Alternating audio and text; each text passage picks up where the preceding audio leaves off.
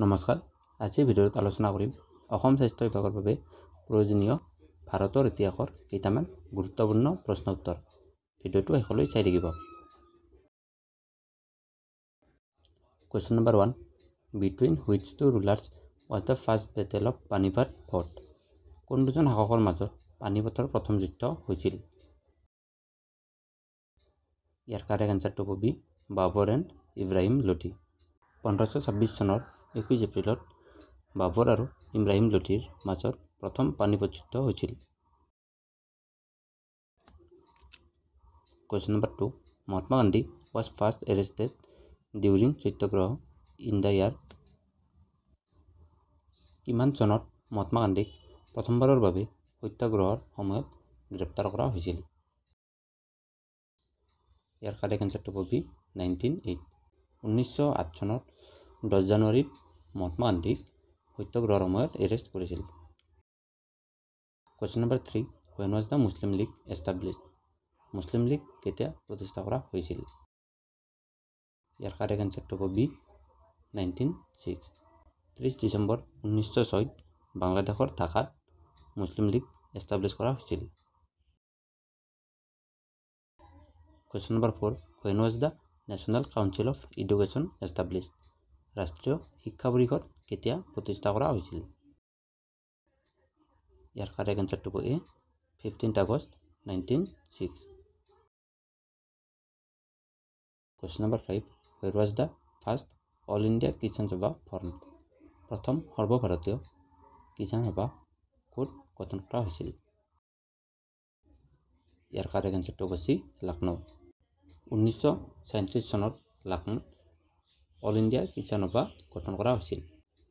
All India Kisan সভাক অখিল ভাৰতীয় কিষাণ সভা বুলিও জনা যায়। Question number six which empire lasted the longest among the following নিম্নলিখিত তলৰ কোনবোৰৰ ভিতৰত কোনটো সাম্ৰাজ্য আটাইতকৈ দীঘলীয়া আছিল? ইয়াৰ কাৰেক্ট এনচাৰটো হ'ব চি দ্য ৰাষ্ট্ৰকূটাছ ইয়াৰ ফাউণ্ডাৰ হ'ল দান্তি বৰ্মন বা Dantidurga. Question number seven which Veda is important for Indian music ভাৰতীয় সংগীতৰ বাবে কোনটো ভেদ গুৰুত্বপূৰ্ণ ইয়াৰ correct এনচাৰটো A Samaveda question number eight how many mandalas Rigveda contains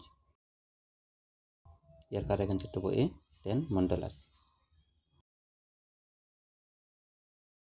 question number nine which was the ancient port of Indus civilisation Hindu সভ্যতাৰ প্ৰাচীন বন্দৰ কোনটো আছিল ইয়াৰ কাৰেক্ট এনচাৰটো হ'ব B Lothal question number ten the Arjun awards were institute in the year Arjun বঁটাসমূহ কিমান চনত আৰম্ভ কৰা হৈছিল? ইয়াৰ কাৰেক্ট এনচাৰটো হ'ব চি নাইনটিন ছিক্সটি ওৱান লগতে মনত ৰাখিব ভাৰতৰ প্ৰথম অৰ্জুন বঁটা লাভ কৰাজন হ'ল Krishan Das. Question number eleven who was the first Indian lady actress to receive the Padma Shri award Padma Shri বঁটা লাভ কৰা ভাৰতৰ প্ৰথম মহিলা অভিনেত্ৰী কোন আছিল ইয়াৰ কাৰেক্ট এনচাৰটো হ'ব B Nargis Dutt. Question number twelve who was the first Indian to receive a Nobel prize Nobel বঁটা লাভ কৰা প্ৰথম ভাৰতীয়জন কোন আছিল? ইয়াৰ কাৰেক্ট এনচাৰটো হ'ব D Rabindranath Tagore. Question number thirteen the Yarlung Zangbo river in India is known as ভাৰতৰ ইয়াৰলুং জাংব নদী কি নামেৰে জনা যায়? ইয়াৰ কাৰেক্ট এনচাৰটো হ'ব C Brahmaputra. Question number fourteen what was the capital of Anga Mahajanapada Anga মহাজনপাদাৰ ৰাজধানী কি আছিল ইয়াৰ কাৰেক্ট এনচাৰটো হ'ব A Champa question number fifteen who was the founder of Haryanka dynasty Haryanka ৰাজবংশৰ প্ৰতিষ্ঠাপক কোন আছিল ইয়াৰ correct এনচাৰটো B Bimbisara question number sixteen what was the name of Gautam Buddha's mother Gautam বুদ্ধৰ মাতৃৰ নাম কি আছিল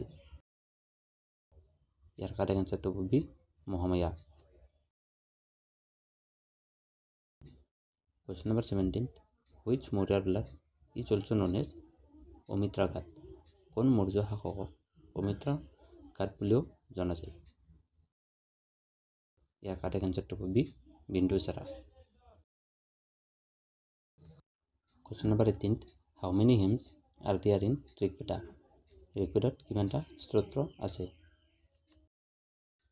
ইয়াৰ কাৰেক্ট এনচাৰটো হৈছে one thousand twenty eight question number nineteen who Arthashastra. Arthashastra কোনে লিখিছিল? ইয়াৰ কাৰেক্ট এনচাৰটো হ'ব A, Chanakya. Question number twenty first secret ruler who issued coins মুদ্ৰা জাৰি কৰা প্ৰথম শাসক কোন আছিল ইয়াৰ এনচাৰটো হ'ব বি চন্দ্ৰগুপ্ত ওৱান